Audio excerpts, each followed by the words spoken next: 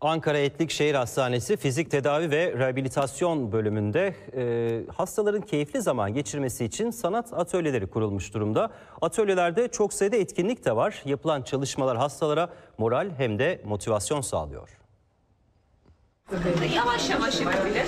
Önemli olan ince motor çalışması olması.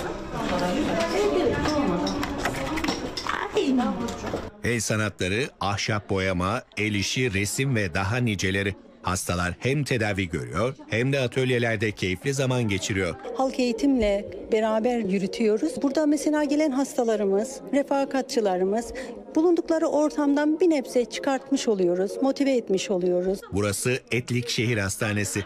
Fizik Tedavi Rehabilitasyon Merkezi'nde hastalar için atölye kuruldu. Atölyede yaratıcı drama, konuşma etkinlikleri, duygusal aktiviteler, el sanatları ve ahşap boyama gibi birçok etkinlik yapılıyor. Atölyede yapılan çalışmalar hastalara moral ve motivasyon sağlıyor. Evlerine katkıda bulunuyorlar, öğrendikleri işlerle dışarıya iş çalışıyorlar, sipariş alıyorlar ve biz de burada yaptıkları ürünleri satıyoruz. Hani böyle faaliyetler çok iyi geliyor. Hani fizik gibi oluyor. Kızım hem burada tedavi alıyor, biz de burada böyle şeylerle uğraşıyoruz. Çok iyi oldu bizim için de. Atölyede geri dönüşüm malzemelerinden faydalanılıyor. Bu gördüğünüz tablodaki tabletlerse su bardağına dökülen alçılarla yapıldı. Çizme ve boyaması da buradaki hastalara ait. Gayet güzel gidiyor. Geri dönüşümden faydalanıyoruz.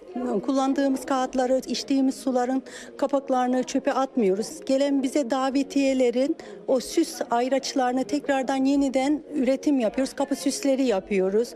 Ya aklınıza ne gelirse, hayal ne ederseniz biz burada üretiyoruz. Bu etkinlikler hepimiz için iyi oluyor.